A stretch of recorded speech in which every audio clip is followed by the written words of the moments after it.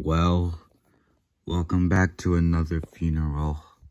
This time, it's on Andreas. He died saving Duncan. If you want to know how he died saving Duncan, I will put the link in the description. It was in one of Victor Tanzig's videos. We did not expect this to come. We didn't expect him to die, but one thing's for sure that he will be missed. Let's pay our respects and we will remember Andreas.